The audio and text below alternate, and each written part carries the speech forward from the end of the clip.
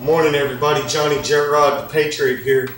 I'm going to bring you guys this emergency special transmission about a dire warning that Bill Gates gave to the world, talking about hundreds of millions of people possibly dying from diseases or biological weapons that could be released into the world. Now, we know that there's been an attack on the American people by these forced vaccines. There's also many migrants coming from the Middle East with diseases that we've not had in this country for a very long time, including smallpox. Tuberculosis is something that we've had bringing in from South America and Mexico, but I want to talk about leprosy here for a second. Let me just explain something to you about what I'm talking about. Check this out. We got some Spanish rice right here. We're going to cook some Spanish rice and eggs for breakfast. I'm kind of hungry. But, uh, you know, Bill Gates was saying that, and what is he hiding? I'm trying to wonder what is what is he hiding and what is he not telling us? But you know what? Some of these migrants are coming over here with this smallpox, leprosy, TB. But I want to read something to you about TB. Maybe you don't know this, maybe you do, I don't know. But every two minutes in the world, somebody is diagnosed with leprosy. Right uh, in 2015, 106 different countries uh, had cases of leprosy in it. And it's caused by a germ or bacteria called Mycobacterium leprae, which destroys the body's ability to feel pain and it causes infection when you get injuries, resulting in tissue loss and the bones shrinking. And a lot of people think that leprosy causes your limbs to fall off. No, what it causes is you to have to have your limbs amputated. Now, if you think back about the Middle Ages, what they used to do with lepers or leprosy patients or whatever, they used to dig these great big giant pits and toss these people down in there and just throw pieces of bread and, and food down in there for them until they died. Because this disease is an airborne disease. It can be spread by coughing, sneezing, uh, repeated body contact. So what is Bill Gates trying to hide from us? What is the New World Order bringing to this country? Are they bringing massive diseases that we, we just can't control? What, what are we going to do if the New World Order decides to tell the CDC not to treat these diseases in a way that will be curable? What are we going to do if they continue to push this upon us and bring in hundreds of thousands of people with these diseases? And then it just spreads into a pandemic and we can't control it, just like the Black Plague did back in the Middle Ages. They're already bringing that stuff over there into Europe, you know. So, hey, check it out. I got some badass seasoning right here. I can't show you the label because it, it's, but it's good. You just got to trust me on that. It's super spicy, man.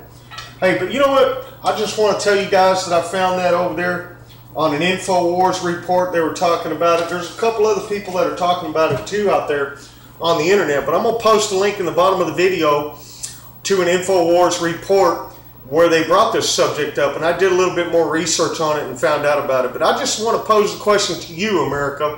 What do you think Bill Gates knows that we don't know? And what is he hiding from the American public when he issued this warning? Are they just not even hiding it anymore? Are they trying to destroy the world? We already know that, you know what? Here's a coincidental thing the day that he said that, his wife Melinda Gates goes on uh, YouTube and Twitter and posts this uh, advertisement. I would have to say it's an advertisement, but she was promoting birth control pills. Okay, birth control pills can be good for women for certain things, and it does give you an opportunity to get pregnant only when you want to get pregnant.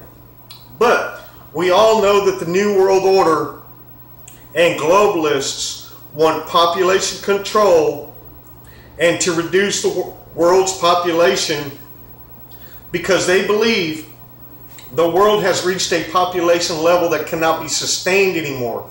Think about it.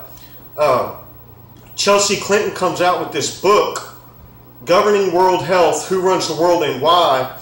It's a globalist plan to govern your world health in the name of we're going to take care of you when really it's just they want to control you and depopulate the world. So I'm asking you the question, America. You tell me what you think about Bill Gates and what he said, and what are your ideas on this subject. Let's start a discussion. This needs to be talked about because it's not in the mainstream media. They're not talking about the diseases that are coming over here. So my name is Johnny Jetrod, and I just want to thank America. And uh, hey, you know what? If you want to subscribe to my channel, go ahead and subscribe. I'd sure like to have another couple more subscribers. We may open up a Patreon account here pretty soon. But hey, this is America. You got free speech. You can talk about what you want to talk about. You can open your eyes to the world around you, or you can con- continue to be a sheep and and never realize that the world is trying to control you and see uh, and see the world through the globalist eyes. You can do that if you want to. But I'm here to wake you up and give you an opportunity to see the world in a different way and understand that, you know, not everything is what it seems to be when it comes to the globalist and the new world order.